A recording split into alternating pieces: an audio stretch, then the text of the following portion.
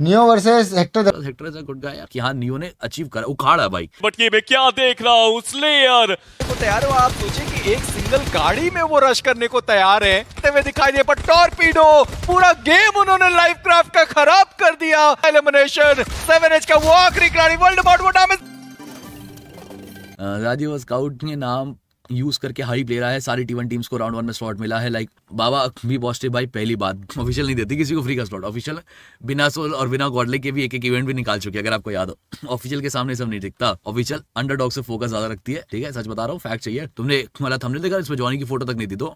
It's more like that official के सामने तुम कोई बड़े प्लेयर कोई छोटे प्लेयर नहीं ऑफिशियल सबको बराबर गिनती है भाई। That's a very good thing किसी को फ्री का कोई स्लॉट नहीं मिला, सबने अपने अपने स्लॉट अर्न किए हैं। तो जितने भी टीम को तुम जैसे ऑटो बॉट्स कह रहे हो गॉड्स कह रहे हो, सबने बाकायदा इनके क्वालिफाइज खेले थे और उसके रिज़ल्ट के बेसिस पे उनको स्लॉट मिला, समझे मेरे बात मेरे भाई? अब जो इनगेम क्वालिफाइज के रिज़ल्ट है, वो कैलकुलेट करने के बहुत सारे तरीके होते हैं। एवरेज सर्वाइवल टाइम होता है डैमेज होता है एक्यूरेसी होता है फिनिशेस होते हैं और पोजिशन होता है, बहुत सारी चीज़ें होती है। इन सबको जोड़ के बनता है वो, ठीक है? तो हो सकता है कि आपके दस विंगन हो और आपके फिनिशर्स मुझसे कम हो तो शायद आप ना क्वालिफाई करें मैं कर जाऊँ या हो सकता है कि आपके चार चिकट रहे हो बट आपके फिनिशर्स बहुत ज़्यादा हो, आपका एक्यूरेसी बहुत अच्छी और आपका सरल टाइम से बहुत ज़्यादा हो तो शायद मेरे आठ चिकन के बाद मैं ना क्वालिफाई करूँ। तो इस तरीके से चलता है। बट हाँ कितना परसेंट क्या होता है ये मुझे नहीं पता। ये हमने कहीं पूछा ही नहीं क्योंकि ऑफिशियल से ये हमारी गलती हमने कहीं पूछा ही नहीं।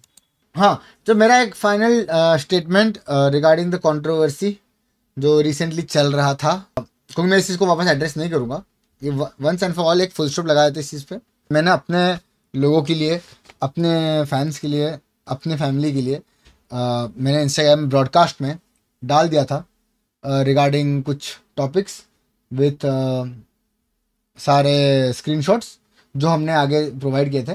थर्ड चीज़ सेकेंड चीज़ कि भाई अब मैं ज़्यादा बिलीव करता हूँ हमारे लॉ पे और लीगल चीज़ों पे क्योंकि वो चीज़ at the end of the day court में जो चीज़ें फाइनली बोला जाती है और जो स्टेटमेंट जज देते हैं वही फाइनल एंड फेयर होता है सबके लिए वही जजमेंट रहता है। सो so, मेरे को अच्छा लगा कि सामने वाला बंदा लीगल जाना चाहता तो मैं भी लीगल जाएँगे जाऊँगा। और अब हम सीधा ये चीज़ मेरे लॉयर उनके लॉयर अगर है, अगर नहीं है तो लॉयर हायर कर देना चाहिए। लॉयर टू लॉयर बात होगी। अब यहाँ से मेरे तरफ़ से एक भी स्टेटमेंट नहीं जाएगी। अब ये सीधी बात होगी ऊपर वाले लेवल पे, जो एक्चुअली प्रोफेशनल्स है। Let's see how it ends मज़ा आएगा काफ़ी अच्छी चीज़ देखने में। ठीक है? डन तो ये चीज़ का मेरे एंड से फुल स्टॉप हो चुका है। No comments on these things जो उनके आपस की है, वो आपस में सॉल्व कर लेंगे।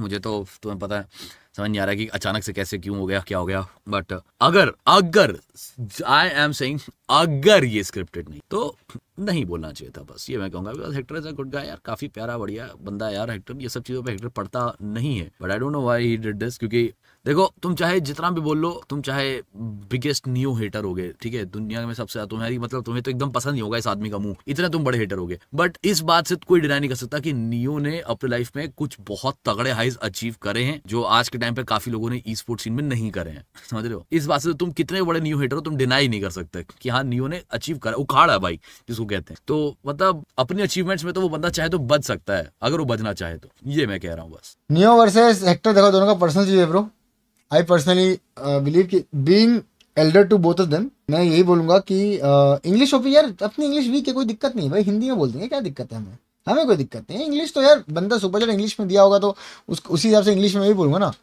तो मैं वही बोलूँगा कि भाई मैं तुमसे उम्र में बड़ा हूँ तो मेरे तो मैं चीज़ तो वही बोलूँगा कि uh, अपने आपस की चीज़ आपस में रखो पब्लिकली मत करो, वहाँ से ऑडियंस बहुत ज़्यादा होगी, ऊपर से तुम दोनों आगे